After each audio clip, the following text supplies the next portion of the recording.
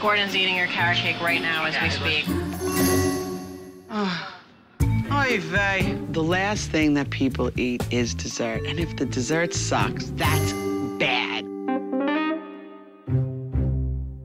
Hey, Bloody hell. Do you scare me? Don't come around the corner like that. Sharon.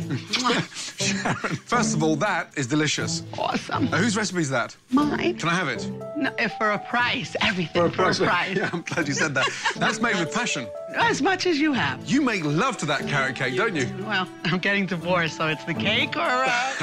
I'll go for the cake.